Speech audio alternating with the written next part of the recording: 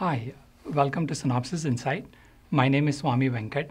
I'm the Senior Director for Platform Marketing in the Design Group. And with me here today is Antun Domic.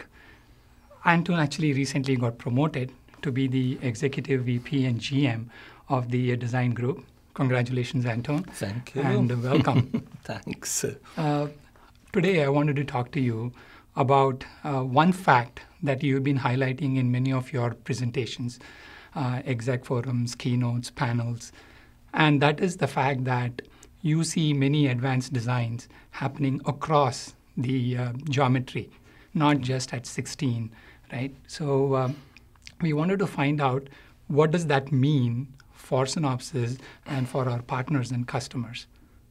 Yes, just, yes, thanks, Swami. And yes, I have been talking about this for a while, and uh, I'll give you several reasons for that.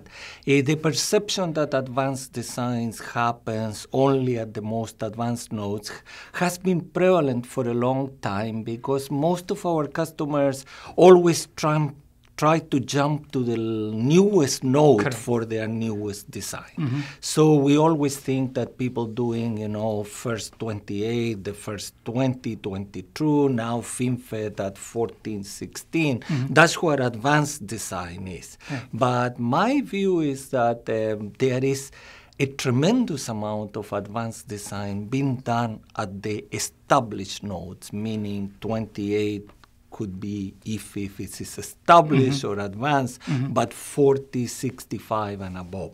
And the reason is very simple. Um, you have competition irrespective of the business that you are in. Sure. And there is, if you are not going to have a semiconductor technology that is very different to your competitor, how can you beat them? You need That's to do right. better design. So for me, advanced design is independent of node. There is a second piece that uh, is very important here. Uh, Moore's law always said we can put so many more transistors in the next node and so on. And the part that is less uh, brought up often is that also there was an economic part that said the same cost or That's right. diminished cost.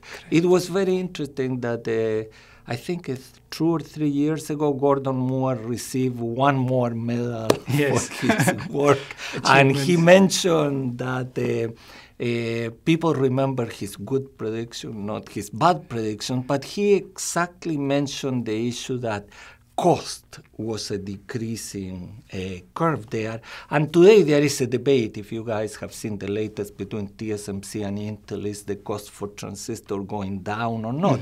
But irrespective of that, the cost of the newest technologies is high.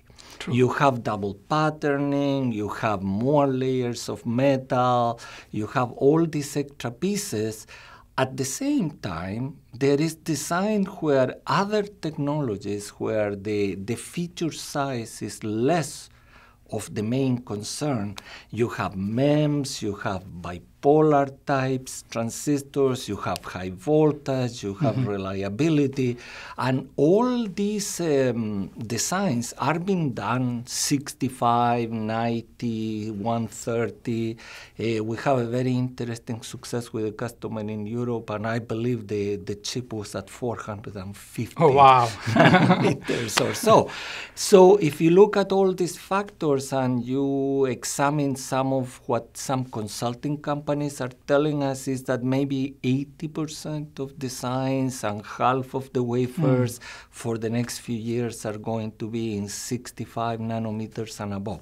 So for hmm. us, then it is very important, and that's part of the mission of this uh, new group that we formed, combining the former IG and AMSG group in this design group, is to make sure that our customers have access to superior EDA technology so that they can do advanced design irrespective of the node that they're targeting their design. Right. So That for me, sense. there is a very important business reason for us to have that capability, and that's where we are today.